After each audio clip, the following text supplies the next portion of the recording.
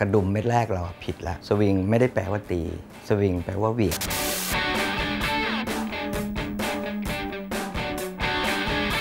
หัวใจของกอล์ฟคือสวิงกอล์ฟไม่ใช่ตีกอล์ฟถ้าวงสวิงเราดี ลูกเราจะตรงแล้วไกล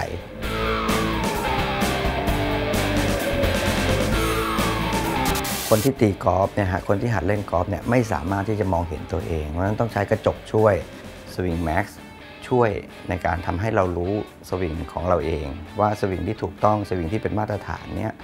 จะเป็นยังไงสวิงแม็กซ์มันเหมือนกับว่าให้เราเห็นแบบอนาโตมีเข้าไปในแกนกระดูกของเราเลย มันจะชัดมากแล้วทำให้เราเห็นปัญหาเราง่ายขึ้นเร็วขึ้นฮะการตีไกลและการตีตรงเนี่ยฮะก็คือโปรระดับโลกทุกคนเลยนะครับ ต้องการ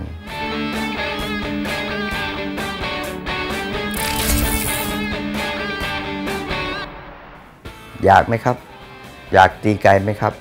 อยากตีตรงไหมครับ มาพัฒนาสวิงของคุณ ไปกับ Swing Max